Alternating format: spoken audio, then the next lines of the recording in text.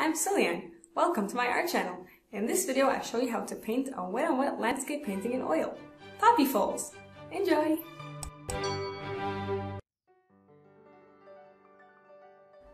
We've put down a thin layer of creamy white paint mixed with Liquin Original all over the canvas. And starting at the top, so that the darkest color is all the way on the top edge, we'll put a mixture of ultramarine and phthalo blue to get a sky a bit on the darker side. And we'll work our way down with crisscross kind of strokes till we get to the horizon, getting lighter as we go down. And starting from the horizon and working upwards, we'll put some orangey colored clouds. Can never decide whether they're sunrise or sunset. I guess it depends what you want it to be.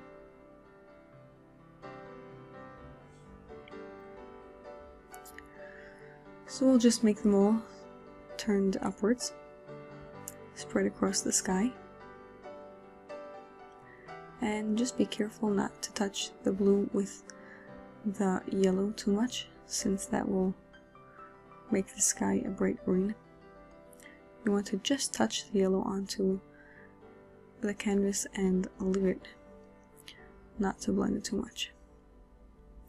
Here are some edges of clouds with crimson.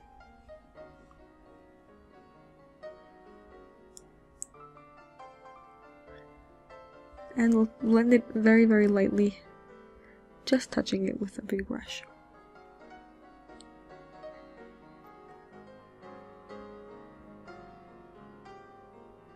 Just touching it just to get the brush marks out and to blend it all together so it looks nice and smooth. And using some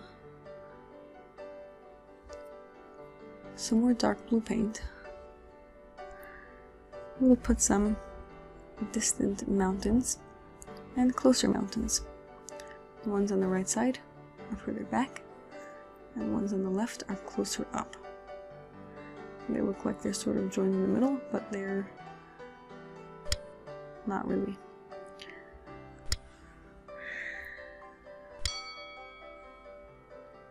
And still using the palette knife, we will give them some highlights coming down from that shiny sky onto those faraway mountains.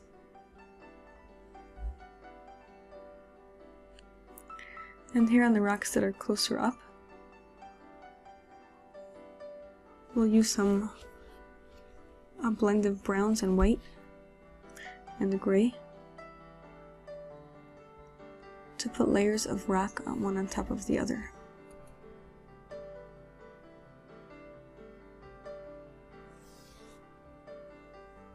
It's important when making those mountains in the background to brush all the excess paint downwards so that you're able to layer other colors on top. And here we combined a phthalo green and yellow and we're putting a lighter green in the distance and gradually working our way darker green as we come closer to the front. So the grass that's furthest away will be the lightest in color, um, with more of a brownish tinge. And we're making sure to keep the grass falling down in the direction of these hills, sloping down towards the center where this waterfall is going to be. And we layer them sort of one ahead of the other, leaving some space in between so that you get some idea of distance. Now here are these brown colored rocks that are just in the middle of this field and on top of these rocks are small waterfalls. So as we come closer to the front of the painting, the grass gets greener and brighter.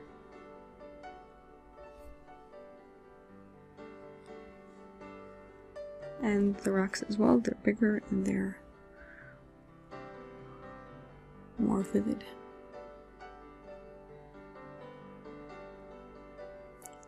So here we've got a nice coverage of green all over. And You can see the background grass is much lighter and the grass in the foreground is much brighter.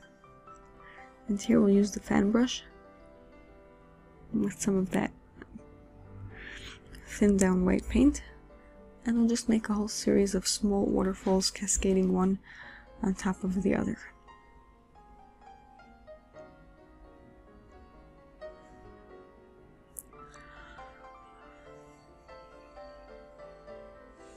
Using the palette knife once again, we'll put some boulders here on the sides, ones that are not covered by water.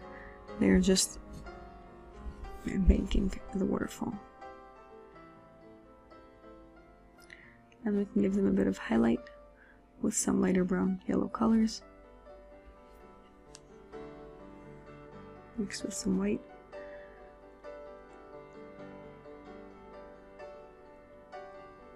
And now, at the very front, we're going to make individual blades and stalks that we can actually see. So we'll use a liner brush for this and thin down some phthalo green paint so that it's easily spreadable. And we'll just keep stroking upwards. Dip the brush in repeatedly and using an upward stroking make all these blades of grass and stems of the flowers. These are just for these red poppies that are up close to the front of the picture. The ones that will be further back, you will not see their stems at all. Since when things are far away, you don't see as much detail. So we'll just dot them in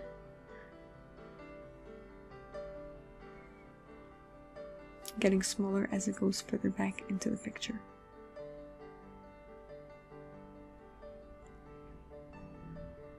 I'll try to follow the lay of the land, the sloping of the hills,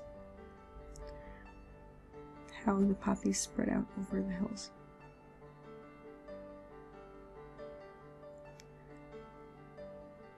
And he will just touch up the sky a little bit more